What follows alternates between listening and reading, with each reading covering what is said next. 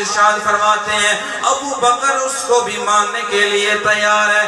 گویا برادران گرامی قدر حضرت سیدنا صدیق اکبر رضی اللہ تعالیٰ عنہ، آپ نے اس طرح ذات مصطفیٰ علیہ تحییت اور سنہ کے ساتھ محبت کی، اس طرح حضور کے ساتھ پیار فرمایا۔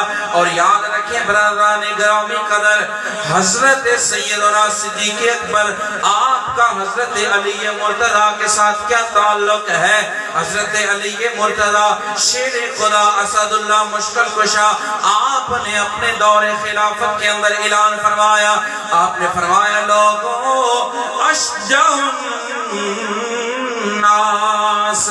آپ نے فرمایا، سب سے زیادہ بہادر کون ہے؟ آپ کی رعایا کے لوگوں نے عرض کی، حضور آپ سب سے زیادہ بہادر ہیں، آپ شیر خدا ہیں، آپ اسد اللہ ہیں، آپ سب سے زیادہ بہادر ہیں۔ حضرت علی مرتضی رضی اللہ تعالیٰ عنہ، آپ نے فرمایا، لوگوں، میں نے مانا میں شیر خدا ہوں، میں نے مانا میں اسد اللہ ہوں، میں مانتا ہوں، میں سب سے زیادہ بہادر ہوں۔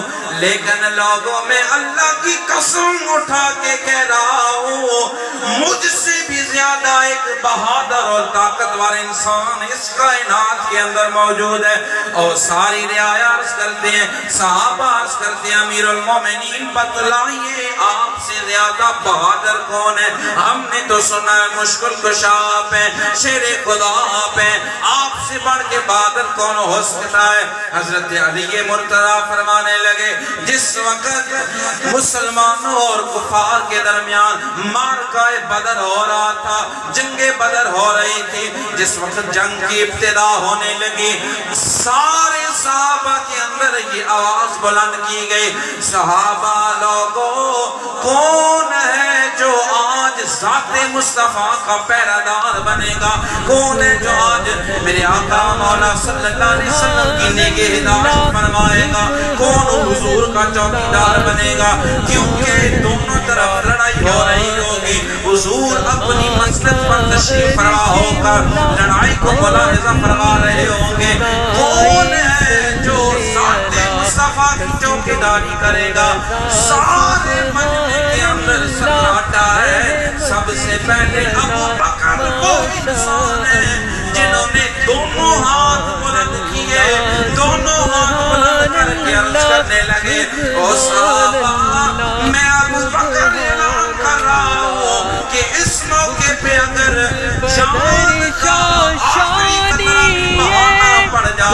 میں سمجھوں گا یہ سودا کھاٹے والا نہیں ہے یہ سودا خسارے والا نہیں ہے کیونکہ اگر سور کے اندر